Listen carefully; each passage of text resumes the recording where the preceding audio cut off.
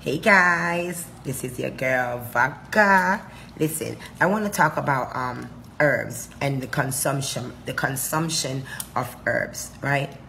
Now, as I said before, VOGAW don't just sell moss, guys. We are a full organic grocery store and I specialize in herbs as well, right? So I do have herbal therapies that I that I have. I do do herbal consults. I do specialize in herbs, guys.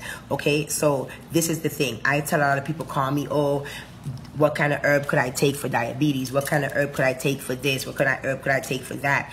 You know, all this stuff. What you have to understand, guys, herbs work in different ways, right? So if your body is not working at maximum capacity as far as on that health level, guys, where you're not diseased and it's not filled with mu excess mucus and all of these things, guys, then now the herbs, you know, then you could incorporate herbs and they will work. But if you're, if, if you, you know, if you're, if you're, if you're, you're diabetic or if you're borderline diabetic, which is high blood pressure, you know, high sugar level, stuff like that, guys, then if you're borderline diabetic, then you need to change the way you eat. You need to change the foods that you're, you're, you're incorporating in your body, guys, because what's happening is now when you do incorporate the herb, it's like nothing.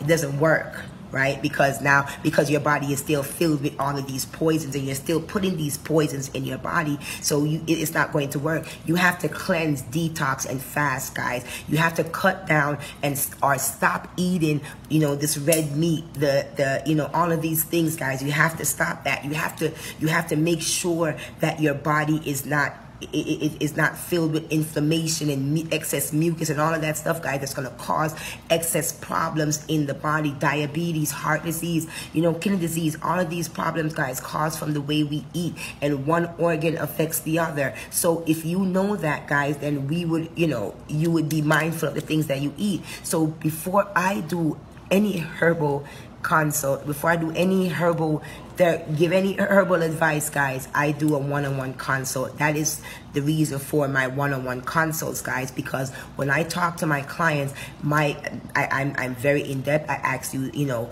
um, questions about, you know, intimate questions. I ask you deep questions. I ask you stuff about things because I need to know the root cause of every problem because every problem has a root. So if we could, we, if we could get out that root, then we'll, you know, we could solve a problem at least, you know, for a good while or whenever. You know what I'm saying? Just, just, just just just that way that mindset right? So if i it, so i do consults guys and i you know i talk to people and half the time it's the way they eat why things are happening in their bodies and people don't understand that these foods that they're giving us is